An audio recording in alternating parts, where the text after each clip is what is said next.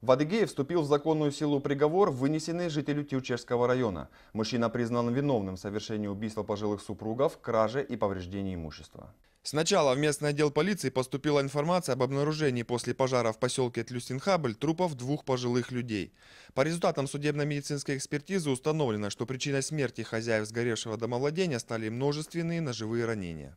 Оперативное сопровождение этих уголовных дел, объединенных в одно производство, осуществляли сотрудники Республиканского МВД и межмуниципального отдела МВД России Адыгейский.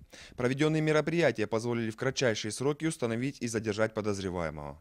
На момент задержания, значит, он находился в очень спокойном состоянии, отрицал свою вину, но в совокупности собранных э, вещественных доказательств э, ему ничего не оставалось, как признать свое участие в данном преступлении. Следственными органами во взаимодействии с сотрудниками полиции собрана достаточная доказательственная база. Это стало основанием для направления уголовного дела в суд.